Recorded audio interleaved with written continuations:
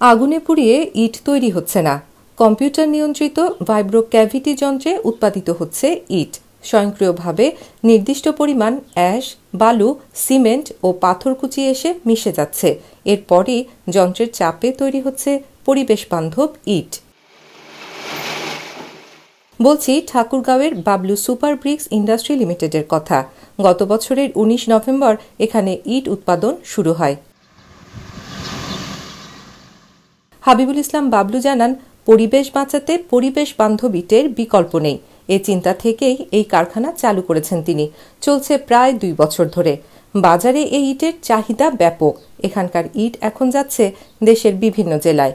জমি ক্ষতি করে না ফসলের ক্ষতি করে না। এই কারখানায় কাজ করে আর্থিকভাবে স্বাবলম্বী হয়েছেন অনেকে। প্রতিদিন আমরা পড়াশোনা করি প্রায় সাত থেকে আট হাজার ইট বাইর করি। অন্যান্য ভাড়ার ইটের তুলনায় আমাদের ইটের সাইজ মান, গুণগত মান সব কিছু অনেক ভালো।